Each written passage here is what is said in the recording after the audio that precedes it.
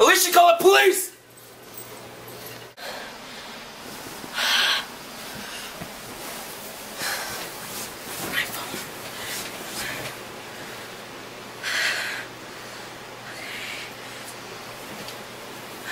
911. I have an emergency.